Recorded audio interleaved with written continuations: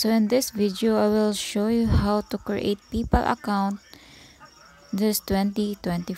First, go to your Play Store, then download PayPal app. So you should search here, PayPal. Then install. So you can create account in Google Chrome browser. You can search www.paypal.com. So, after mo siya ma-open guys, madirect ka na dito sa kanilang dashboard. So, PAC fast and secure. So, we are creating your account. So, itap mo yung sign up.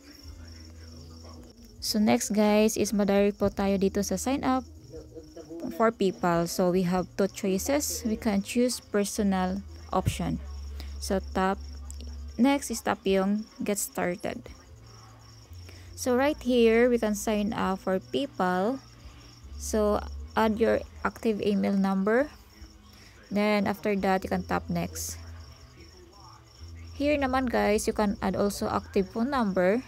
After that, you also tap yung next. So here naman guys is you can create password, use ito 20 character, also use symbols. So after that, itap mo lang yung next. So, dito naman sa personal info, make sure this matches your official ID. So, add your first name, middle name, and last name. So, after that, itap mo yung next. So, here's additional info, guys. You can add nationality, then ID type, then add your ID number, also your birth of date. So, after that, you can tap next. So, here's your address. You can edit kung meron ka mang mali. So, dapat itong dalawang box guys, dapat naka-check yan. So, kapag okay na lahat, i-agree mo lang siya.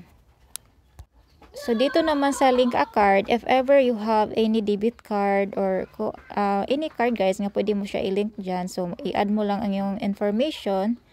Tapos, kung wala pa, so pwede mo lang itap yung not now.